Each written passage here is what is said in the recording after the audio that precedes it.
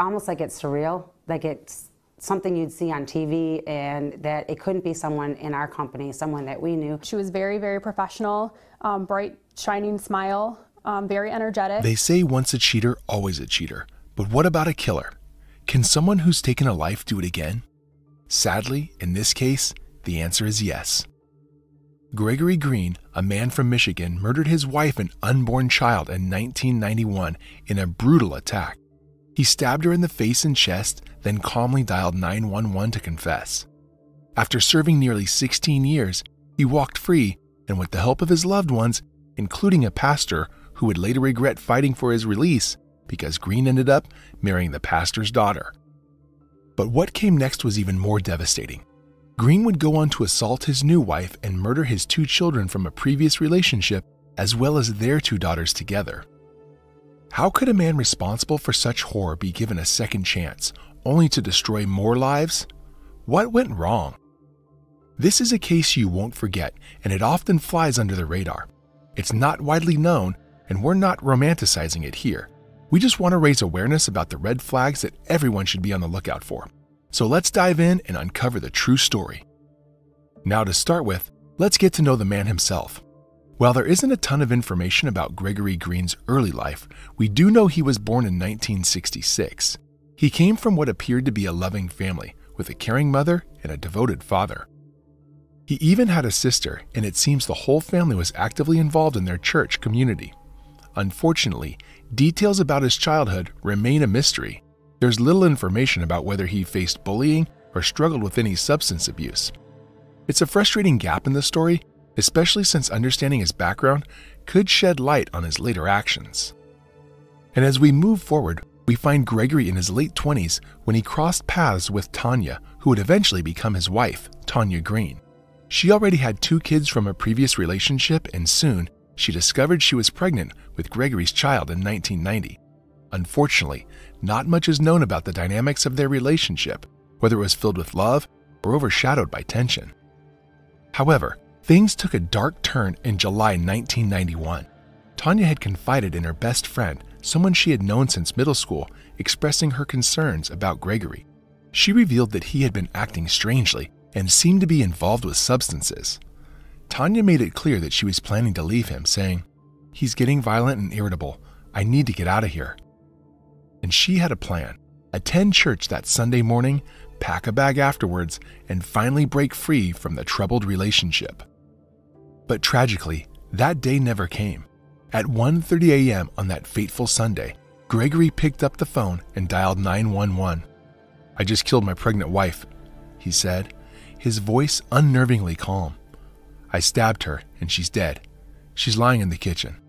While the dispatcher fired off questions, Gregory chose to sit on the porch and wait for the police to arrive. When the officers got there, they wasted no time in arresting him. Inside the house, they stumbled upon a horrific scene. Tanya's lifeless body sprawled on the kitchen floor. She had been brutally stabbed 10 times with a steak knife in the face and chest, and tragically, her unborn child was lost as well. By the way, I post true crime and new cases here every day, so if that sounds like your kind of thing, please consider subscribing. It helps a lot. Now, according to public records and reports, Tanya had two children, but only one was home during the horrific incident. The other child managed to hide in the closet, likely listening in terror as their mother's life was being taken. After the brutal act, Gregory was arrested and brought to trial, facing charges of second degree murder. During the proceedings, he began telling his public defender that he was mentally ill and wanted to plead insanity. However, after a mental evaluation, the court decided against the insanity plea. In the end, Gregory was sentenced to 15 to 20 years in prison, a sentence that many felt was shockingly lenient for taking the lives of his pregnant wife and unborn child. Throughout this ordeal, Gregory's family stood firm behind him. This is where things get a bit murky because we don't know exactly what Gregory told his family about why he committed such a horrific act. Surely he must have said something to them. Maybe he claimed he blacked out or that he lost control. However, the specifics remain elusive. What we do know is that despite the gravity of his actions, he received a sentence of only 15 to 20 years. Starting in 2004, Gregory began seeking parole, but he was denied four times. The parole board cited his lack of remorse and inability to comprehend the severity of his crime. At one point, he was still placing blame on Tanya, claiming she was partly responsible for what happened. The board ultimately deemed him a danger to society, which is their primary focus when considering someone for release. During all of this, Gregory's family was advocating hard for him. His parents, his pastor, and his sister were all rallying behind him. They began writing letters in support of his parole. In 2006, Gregory's mother sent a letter to the parole board expressing her belief that he was genuinely sorry for what he did and had gained insight into his behaviors during his time in prison. While it's clear that a mother's love is powerful, it raises eyebrows to think it took 15 years for Gregory to have his insight. His sister also reached out to the parole board, stating that over the years, Gregory had become closer to the Lord and read the Bible daily.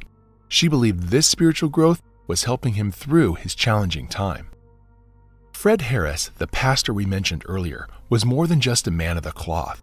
He was also a civil rights activist deeply involved in prison ministry. He knew Gregory and his family well, and he felt a strong calling to help Gregory turn his life around. Fred passionately fought for Gregory's release, believing that with support and faith, he could become a testament to the power of redemption. He even wrote numerous letters to the judge advocating for Gregory's second chance. According to the pastor, Gregory and him shared a friendship that extended beyond mere acquaintanceship before his life spiraled into chaos. Fred wrote to the Michigan Parole Board in August of 2005, highlighting Gregory's connection to their church community. In his heartfelt letter, Fred reflected on Gregory's past struggles, stating, He has paid for his unfortunate lack of self control and the damage he has caused as much as possible and is sorry. Fred expressed hope that if Gregory were released, he would be welcomed back into the church and that the community would support him as he adjusted to life outside of prison. This support network was essential for Gregory, as it was clear that everyone was rooting for him to get a second chance. During his time in prison, Gregory made the most of his situation. He took various educational courses and engaged in mental health programs, showing a commitment to bettering himself. By 2008, he was ready for his fifth appearance before the parole board, a pivotal moment that would determine his future. As Gregory faced the board, three members sat before him, armed with letters of support and records of his behavior during his incarceration. It was a tense moment, but all indications pointed to a favorable outcome. The board reviewed Gregory's time in prison and found that he had maintained a clean record since his altercation over the television back in 2002. The staff and correction officers spoke highly of him, noting his respectful demeanor and ability to get along with others. When asked about his plans for reentry into society, Gregory's parents confidently assured the board that he would return home and that he already had a job lined up, along with a supportive church community eager to help him reintegrate. With two of the three parole board members voting in favor of his release, the decision was sealed. In 2008, Gregory was released from prison, marking the start of a new chapter in his life. At first, things seemed to be looking up for Gregory. He secured a job and moved back in with his family. He attended church regularly and appeared to be turning his life around. Shockingly, just two years later, he completed his parole, an outcome that surprised many given the nature of his past. But life had another twist in store for Gregory. As he was trying to adjust back to life outside of prison, he unexpectedly grew close to Faith Green, the pastor's daughter. Their relationship turned into a sweet love story that almost felt like a fairy tale. A man with a troubled past finding comfort in the arms of a woman from such a different background. It was such a big change for Gregory, and it caught the attention of everyone around them, including Faith. But the thing is, she never really understood why he had been in prison at that time. Whenever she tried to ask him about it, he would change the subject or just stay quiet. This made her uneasy, and she couldn't help but wonder what secrets he was keeping. Now, Faith and Gregory had been living together as a blended family since their marriage on December 18, 2010. At first, everything seemed perfect. They were a happy family, attending church together and enjoying life with Faith's two teenage children, Chadney and Kara, and their two little girls, Koi and Kaylee. However, as time went on, Faith began to notice some troubling changes in Gregory. By 2013, he started showing signs of anger and aggression. There was one frightening incident where he kicked the couch while the baby was lying on it, which terrified Faith. He threatened her, saying she better leave or she would regret it. Despite her fear, she felt trapped, especially with her children in the house. Faith tried to seek help by applying for a protective order, but it was denied. She didn't mention Gregory's dark past, which was a huge mistake. Eventually, she found herself back with him, thinking things would improve, but the situation only grew more dangerous. Fast forward to August of 2016, and Faith decided to file for divorce again, feeling she had to escape the toxic situation. This divorce really made him angry, and it might have triggered something in him. Just a month later, on September 22nd, everything changed. Gregory lured Faith down to the basement. He zip tied her hands and feet, then shot her in the foot so she couldn't move. It was a brutal attack. He went even further, slashing her face and body with a box cutter, leaving her in a state of panic and pain. But the horror didn't stop there. Gregory had rigged the family car to fill with exhaust fumes, trapping their two youngest daughters, Koi and Kaylee, inside. They died from carbon monoxide poisoning, a tragic loss that no family should ever endure. In a chilling act, Gregory then took Faith's two teenage children down to the basement, where their mother lay helpless. He shot both Chadney and Kara execution style right in front of Faith. Can you imagine being a mother and having to witness such unimaginable horror? It's a heartbreaking tragedy. After committing these horrific acts, Gregory called 911, calmly confessing, Hey, I just killed my family. He sat on the porch and waited for the police again. When the cops showed up, they rushed right in and put Gregory in handcuffs. He didn't say much, but what they found was horrifying. The officers described it as one of the most gruesome sights they'd ever encountered. They discovered the body of the two little girls in the car, Koi and Keeley, who had tragically died from carbon monoxide poisoning. Then they headed down to the basement where they found Chadney and Kara, the two teenagers brutally killed. Faith was the only one who survived, and they quickly rushed her to the hospital, where she spent a long time in intensive care. It's hard to wrap your head around the fact that this man killed his family not once, but twice. In court, things took a bizarre turn. When it was his turn to speak, he pleaded guilty. According to his public defender, he just wanted to get it over with. The pastor who once advocated for him to get out of prison, the one who married him, ended up facing the shocking reality of losing his four grandkids to a man he thought had changed. According to Faith, she had lost her memory of that fateful night, but it was reported that Gregory killed and shot her two children right in front of her. The horror of that moment was imprinted on the minds of those who heard the chilling details. Meanwhile, their younger sisters, Kaylee Green and Koi, met a similar tragic fate. The police reported that the girls were found dead in their beds, victims of asphyxiation caused by carbon monoxide fumes from a car parked outside their home.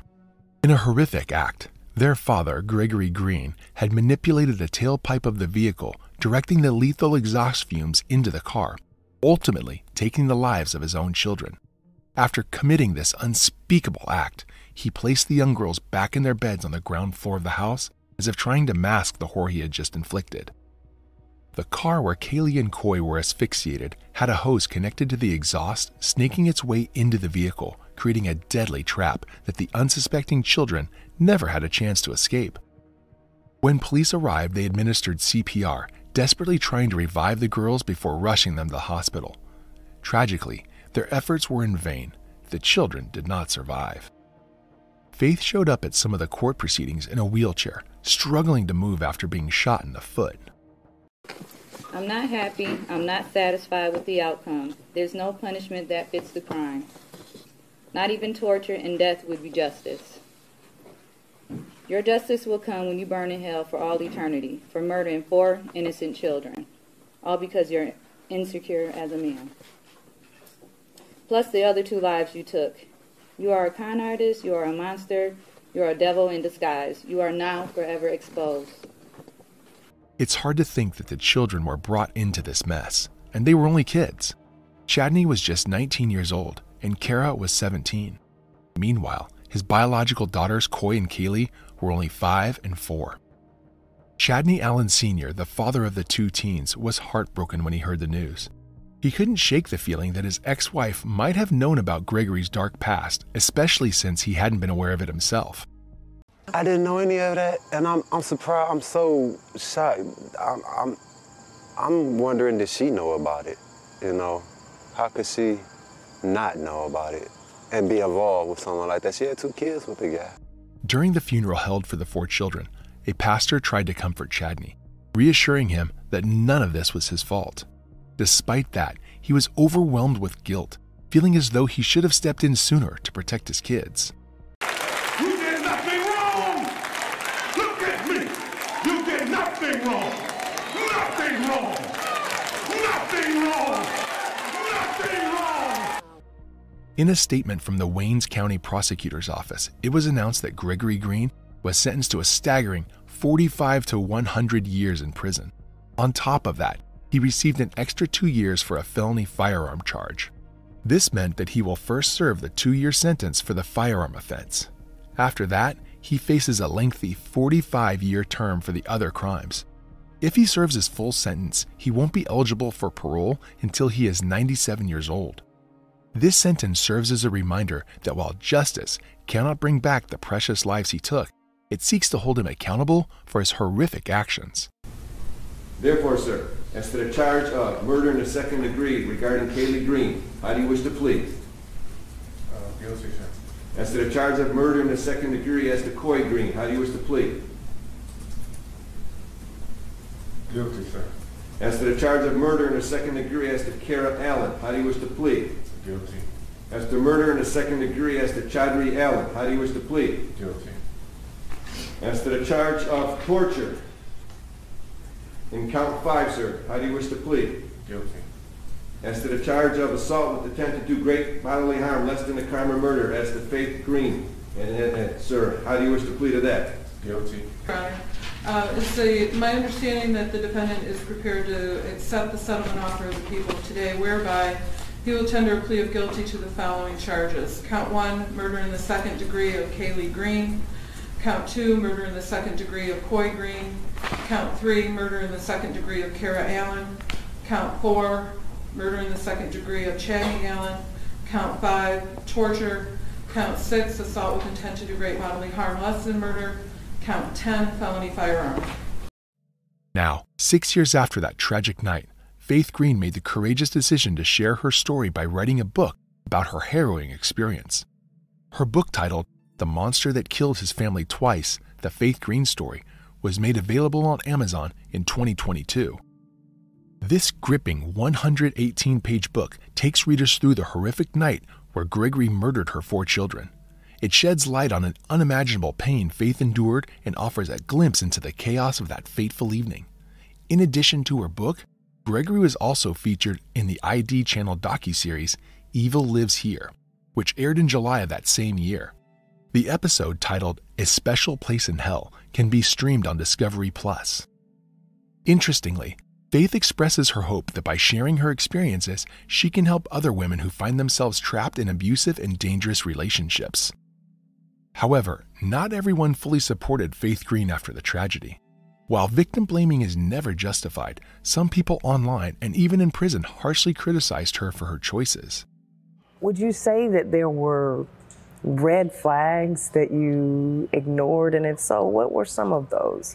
Um, I can say the red flags were, um, you know, mood swings, the arguments for no reason, or you know, basically it was like being married but single. You just he just paid the bills, but he didn't want to be interactive, and and, and then it got to the point where um, it was like you know he didn't want the older two there really. Many pointed out that she knew Gregory Green was a convicted killer, yet she still chose to marry him.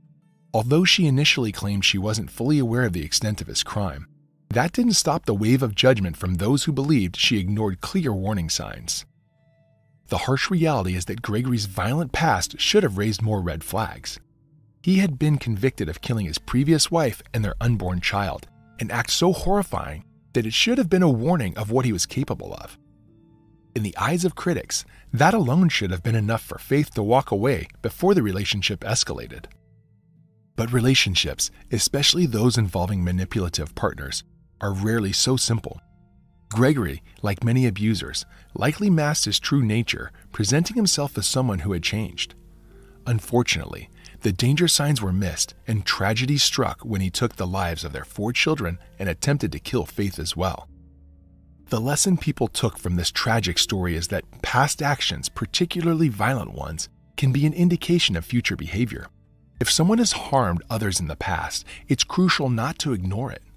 For many, Gregory's first murder should have been the undeniable warning, and ignoring it came at an unimaginable cost. This serves as a reminder for those to take any sign of violence seriously, no matter how much someone claims to have changed. But if you were the mother of two, would you take the chance to marry a convicted killer in the first place? We'd love to know your thoughts in the comments section. If you like the way we create these videos and want to help bring more cases like this to light, hit that like button and subscribe for more deep dives. Thank you once again for watching.